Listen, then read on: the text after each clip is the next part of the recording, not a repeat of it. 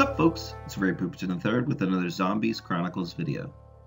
Today I have my Nacht Der Untoten High Round Guide, complete with setup, multiple camping strategies, and all the best training spots on the map. And it wouldn't be truly complete without covering both solo and co-op. For World at War and Black Ops 1, your only setup will be deciding which guns to use. For Black Ops 1, I highly recommend getting the Thunder Gun a wall gun from wherever you choose to train, and monkeys. Getting mule kick and a ray gun or other box gun of your choosing is optional. You could just opt to save the money. For World at War, there is no thunder gun or monkeys in the box. You're left to either use the wall gun or keep hitting the box or a combo of both. I see a lot of people use the flamethrower and ultra high rounds since the ammo is infinite, but any way you spin it, rounds are going to take quite a while so you will need to get very good at training somewhere. For the Chronicles Remaster, you now have the use of Gobblegums and a Wonder Fizz machine with 7 additional perks, as well as the on-map perk Mule Kick. This opens up a world of new possibilities for both camping and training. For weapons on Chronicles, I highly recommend having the Raygun Mark II and the Thunder Gun. Monkeys are vital if you want to be able to recover from a down and the Annihilator can be a great way to save ammo during insta-kills and can one-shot zombies until about round 25. If you ran a Pack-a-Punch Gobblegum like Crate or Wall Power with Bullet Boost, you can drastically speed up the higher rounds by getting the wall gun in your preferred training area with your Pap Gum and then bullet boosting when it becomes ineffective. This can make your wall weapon kill indefinitely, and since the only other option for that is the Thunder Gun, which runs out of ammo fairly quickly, this is a huge strength. The best options to get are Blast Furnace, Dead Wire, and Turned. Fireworks is only as effective as your gun's bullets, and Thunderwall just won't take out as many as quickly. For Gobblegums, I recommend anything that gives you extra perks for easier and longer camping. I would also highly recommend a Pack-a-Punch Gobblegum such as Crate Power combined with a Bullet Boost to speed up training through the higher rounds. Alchemical Antithesis is amazing as always for getting the most out of your wonder weapons, and Defensive Gums for emergencies like Anywhere But Here and In Plain Sight can fill in the rest. Stock Option and Armamental Accomplishment can be awesome for camping as well. In World at War, you don't have access to any perks. On Black Ops 1, you can get Mule Kick, but on Black Ops 3, you have your choice of 8 perks. There are two staples that I recommend having for both camping and training, Jug and Widow's Wine. They can both save your life a lot. Quick Revive can be bought more than 3 times on this map using the Wonder Fizz machine, so if you're playing solo, be sure to run that. For extra perks when camping, I recommend Speed Cola, Mule Kick, and Double Tap. Deadshot can help as well when used correctly. For training, I highly recommend Stamina. It will make your life way easier when doing loops. Now I will go over all the various strategies I have found effective. I will list these from easiest to hardest.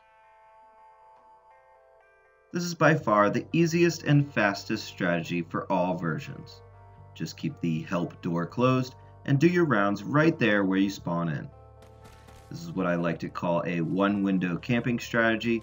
You just have the one window to your right here and everything else will come at you from 12 o'clock straight ahead, leaving your six behind you protected. In solo, just keep an eye and ear out for breachers and dispatch them with haste. In co-op, just switch off each round, watching the window and keeping it boarded and Zom free, and you can effectively camp here for the better part of the early rounds. When camping becomes too hairy, you can train here indefinitely in all three versions of the map. The columns in the area are incredible for spreading them out and allowing you the space to round them up. Take advantage of your full area, always taking a gap when you see it. You can come up past the stairs and double back or even use the file cabinet as a wider loop option just be careful of the zombies switching directions here as they are prone to doing. When using a bullet weapon such as the Mark II for headshots, there is a great way to line them up. This is also a great alternate route when there is no gap to close your loop. When coming back up the right side, keep going past the stairs. Take it as slow as possible, turning around in this left hand corner, and then double back as quickly as possible. It is easy to get trapped right here by the tail end of your horde, so pull out a panic gun like the Thunder Gun if it seems like you may get cut off. Then you can come back and line them up either on the far right or in the dead middle and pop their heads or kill them with a thunder gun or a double papped wall gun.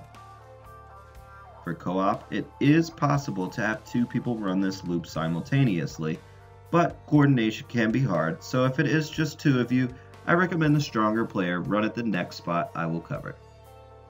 If you leave the help door closed, you can also run in the room with the box.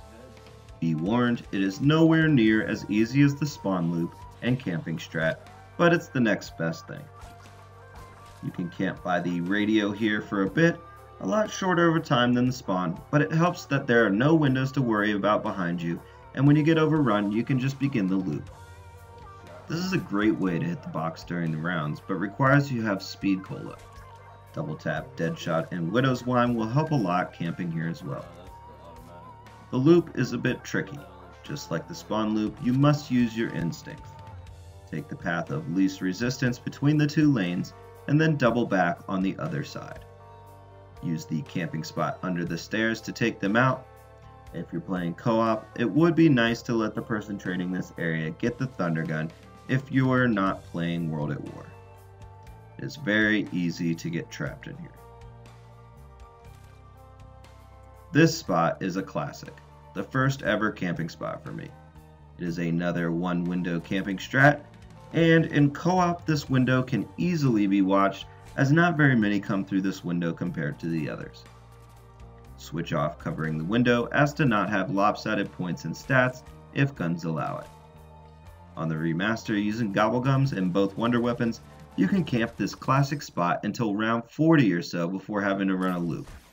That makes this the best camping spot on the map, but also requires you open up the help door, ruining spots 1 and 2. Widow's Wine is a beast here, and can make it dirt simple to camp here for a while with just the Thunder Gun and Mark II. Use Alchemical Antithesis to stretch your ammo as far as it will go. If you're just playing a casual game with buddies, this can be a very enjoyable strategy for the early rounds. It is possible to run a loop here, but is the most awkward and difficult of the three training areas I have gone over so far.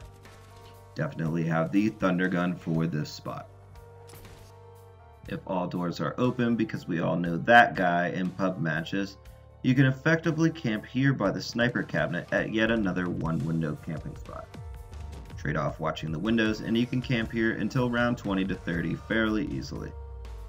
Watch for zombies sneaking around on the far left. If you stand here on the opposite side of the broken wall, they will not use that lane when spawning through that left side window. The last training strategy I want to go over is the big loop. If you've watched my Zombies 101 training guide, you know that that is just a big circle around a large area encompassing more than one room. This is used a lot when randoms don't know any better and open up the whole map, or on the original versions where it's just two hits and you're down. I like to let them spawn in while looping in the spawn area, avoiding going back behind the downed file cabinet. If they come in from the help room and you are coming from back there, it can be very bad. You can go either way, but I prefer the counterclockwise loop, running into the help room and then arcing out into the room before going up the stairs. This will bring you on a direct path with the KN wall buy at the top of the stairs, so if you want, you can bullet boost that bad boy, which can take off heads into the 40s and 50s when just single path. With Deadwire or Blast Furnace, it can speed up the high rounds a lot. Run with your Thunder Gun out if possible, this is not an easy map to train. The doorways are narrow, as are a lot of the rooms. Use the open spaces to your advantage and let them bunch up there, then use your choke points to take them out. But that about wraps up this video. I hope it helps you destroy your leaderboards. Thanks for watching. Subs and likes are appreciated. Peace!